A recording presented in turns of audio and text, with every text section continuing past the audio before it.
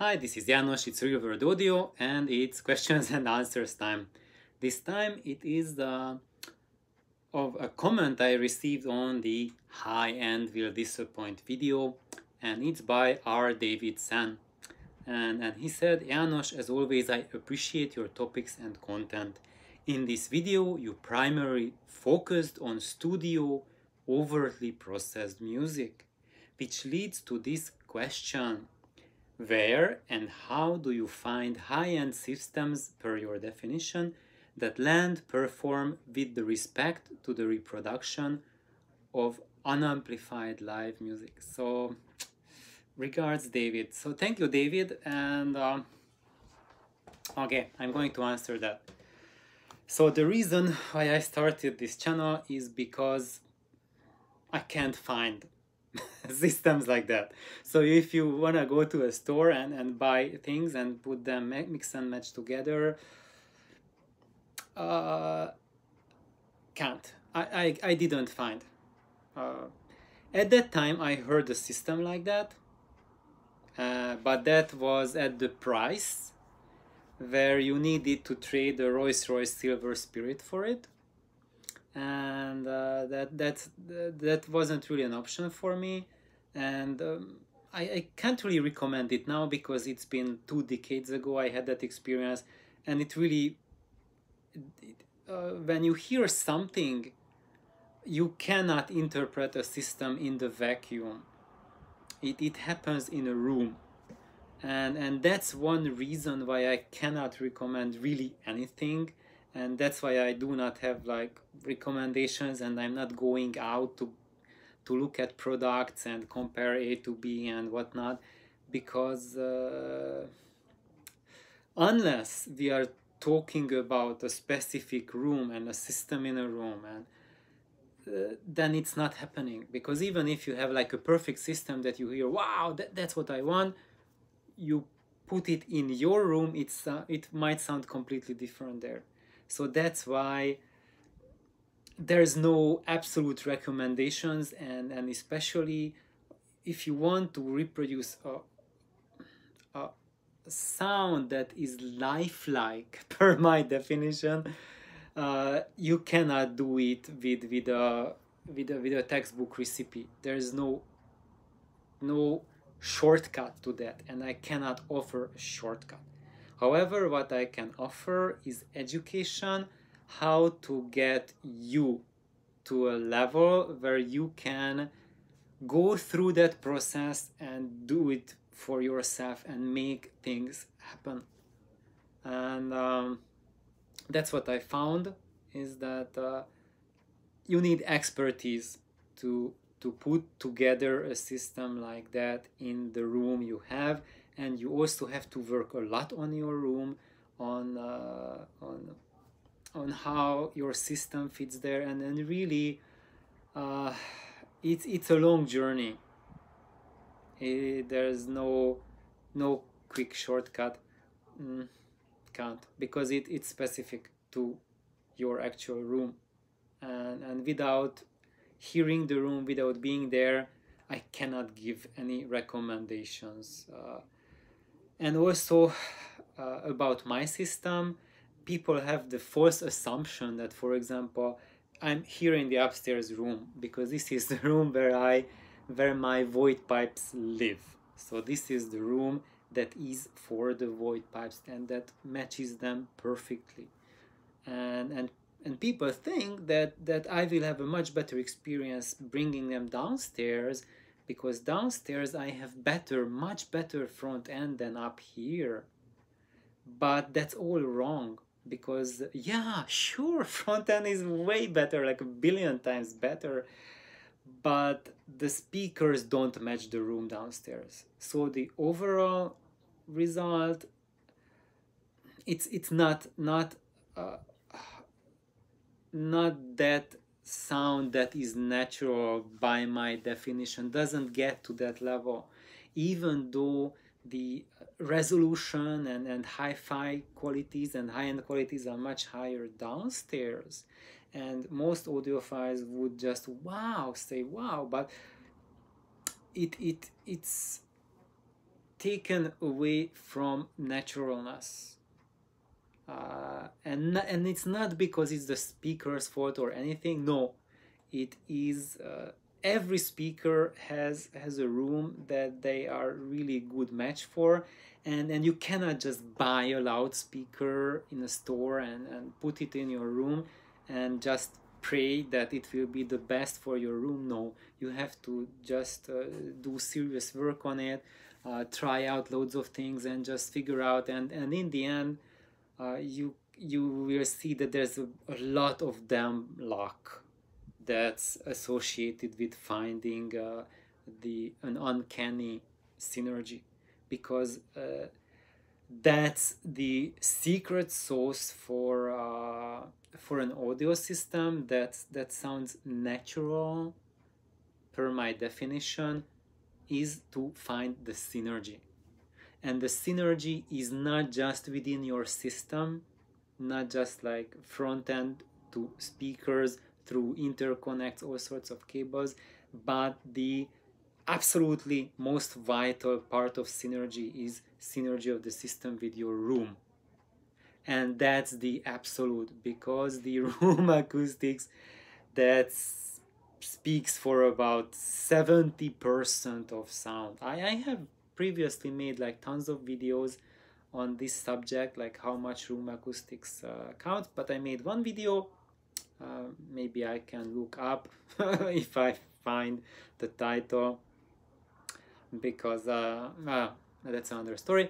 But anyway, there's a video uh, where I tell my experience of uh, having of hearing a really basic system which which people don't even call audiophile so it's it's like a like a higher grade consumer system but in an excellent acoustics situation.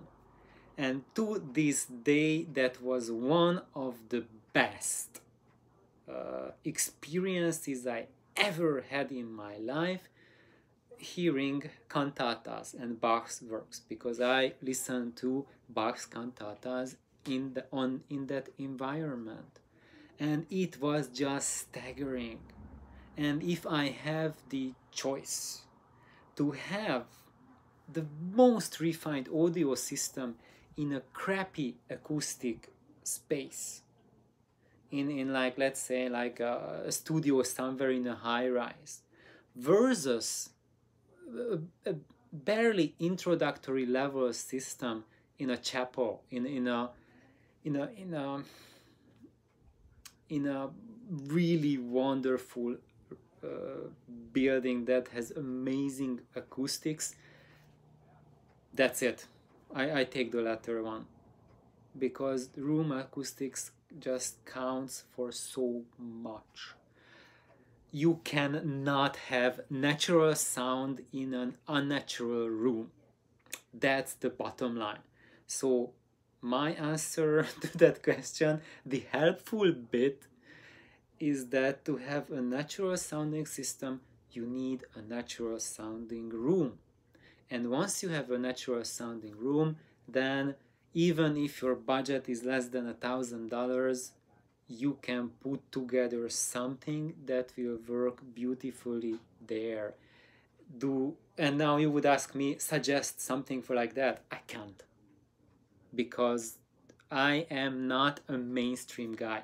I am the worst person to give advice what gear you should choose particularly because i don't give that about what is sold on the market uh, and i don't go out of my way to seek out to listen to anything my audio buddies drag me to to hear stuff. And and when i hear stuff hear new stuff i just oh okay that, that's cool. That's, that's all right. But on my own i don't go after these experiences because uh, i don't find any commercial gear to that refinement that i'm looking for.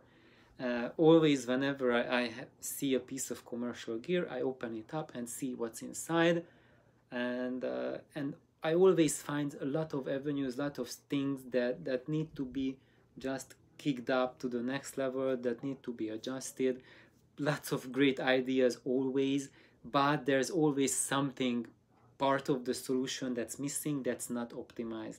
And uh, and when you are putting together a system the most important part is not the individual components but that all of these have to match each other. You need synergy. You need to build synergy with your whole system that includes the room.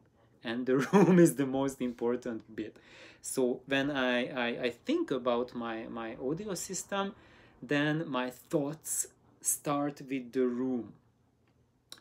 And and I build it based on the room. So what is the room? What kind of speaker will work well in that room what kind of amplifier will work well with that loudspeaker and then the front end driving that amplification. And how and then how do I take care of volume control and and and those tiny bits? How how do i fine tune things? And once i have it then i'm fine tuning the system and i'm not changing pieces in it. I'm not tossing out the amplifier getting a new one because oh there's someone in, in uh, wrote about a different technology different solution blah blah blah something? No. If you it's like a person. Think about it that your audio system is like your body. And if you like for example you are taking your amp, tossing it out, getting a new one, it's like a heart transplant, like tearing out your own heart and and just getting oh maybe there was a, a person who died in, in Sweden and, and he was a really good guy, maybe a monk. And I'm getting that monk's heart. Who I will feel so enlightened.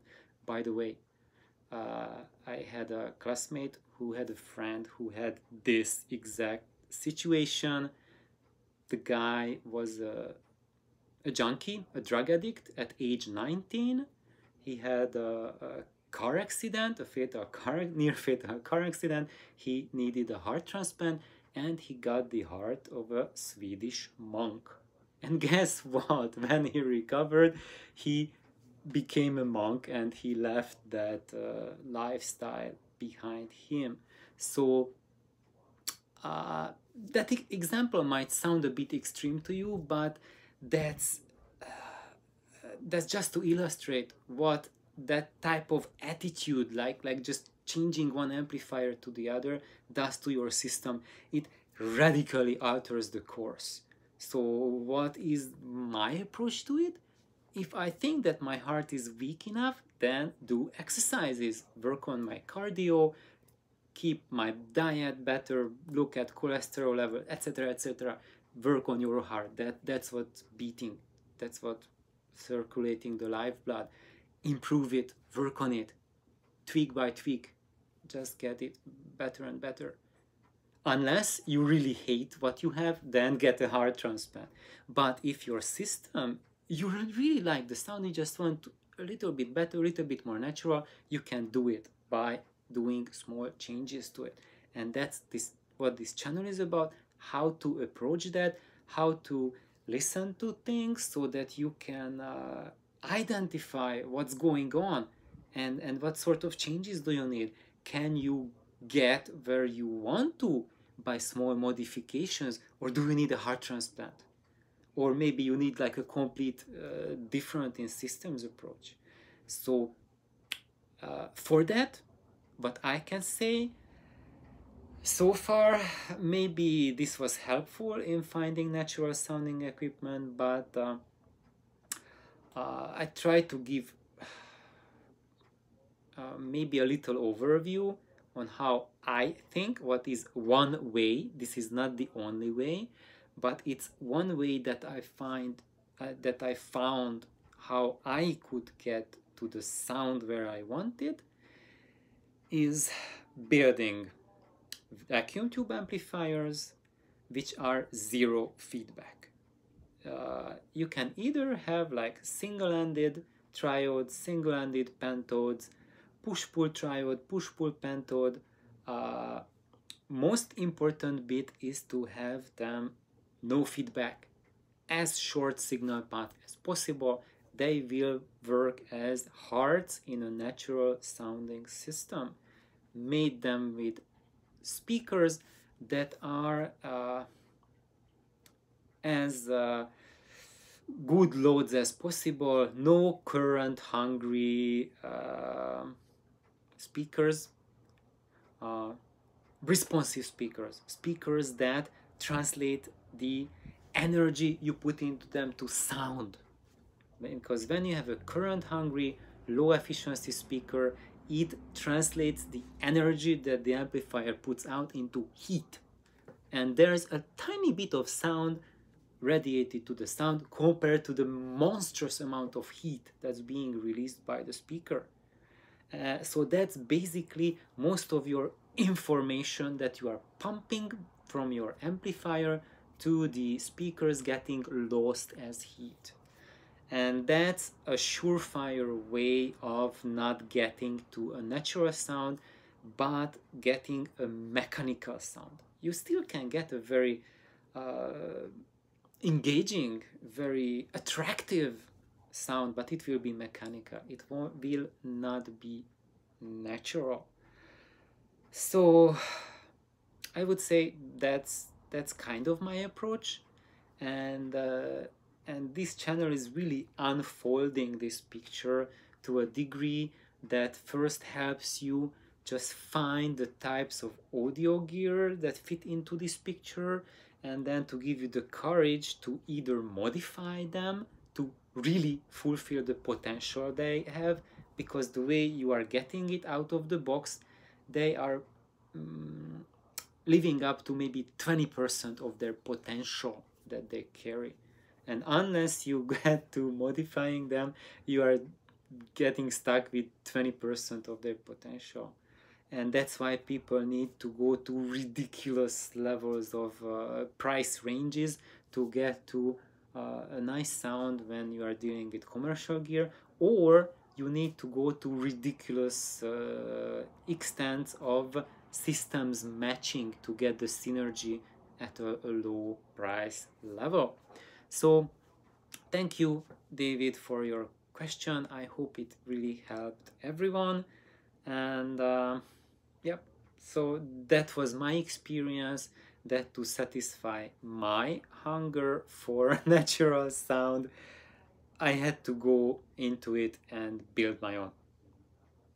And FYI, now I have 20 plus years of systems building experience, but in my first years when, when, when I was an audio fledgling, my first system that I put together was already a natural sounding one. And and in comparison to what I had today it, it was very modest priced and uh, already gave me full experience and full satisfaction. And I just continued tweaking and building and learning because uh, I have this natural curiosity to do so but if I were to just keep that system that I had back then, I would be still a very, very, very happy camper. So please like and subscribe and, uh, and I wish you luck for your system building adventures. Bye bye.